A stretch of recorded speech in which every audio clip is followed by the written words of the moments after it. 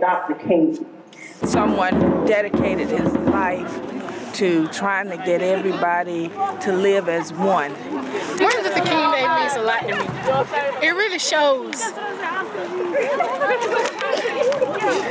how great of a man he was to us for our freedom, to fight for our freedom. We thank you for the voice of Dr. Martin Luther King Jr.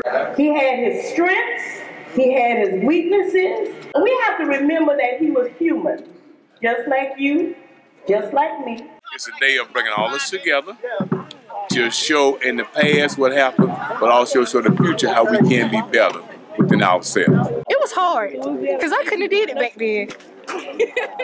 Being quiet, like peaceful protesting, I couldn't have did it. Thank God for Dr. King's willingness to learn from others. The Moses for not just his people, but for all who were oppressed, marginalized, and socially mistreated. I think Martin Luther King Day is an important day because it's a day that we celebrate that he helped us to become all as one. One person can make a difference. One community can make a difference. One can make.